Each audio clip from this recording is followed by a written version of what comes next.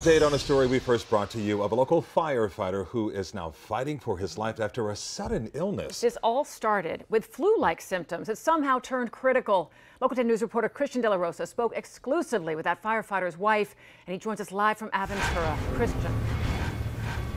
Such a bizarre story, and this has been such an emotional roller coaster. Yesterday, we had told we were told that his progress had pretty much plateaued, and just a little while ago, uh, his wife telling us that he has regained consciousness, but doctors say he is still in very critical condition.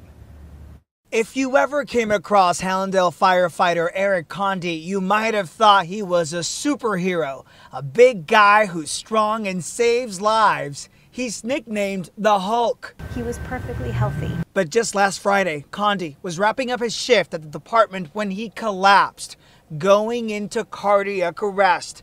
Fellow firefighters went into action to save one of their own. We were in the right place at the right time for Erik. Erik ended up at Aventura Hospital unconscious and unable to breathe on his own. I thought it was a joke.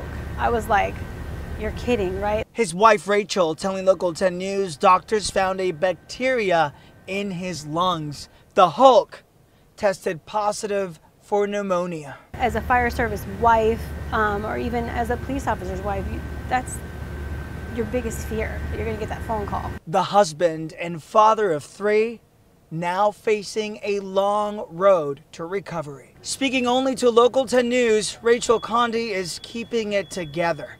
She thanks the firefighter community, friends, and loved ones for their support and their prayers. Had it happened any other way, I don't know if he'd be here. Now, no matter what happens, this is going to be a long road ahead for the Conde family. His buddies at the fire department have put up a GoFundMe page, and we posted the link to that page on our website. Just go to local10.com if you'd like to help. We're live in Aventura. I'm Christian De La Rosa, Local 10 News. Oh, so many prayers for the Conde family.